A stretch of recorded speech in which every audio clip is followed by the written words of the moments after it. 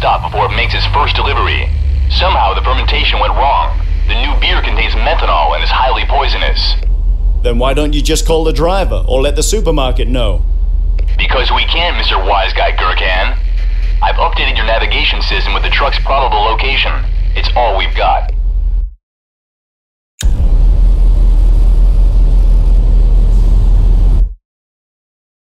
Okay, got it. We're on our way.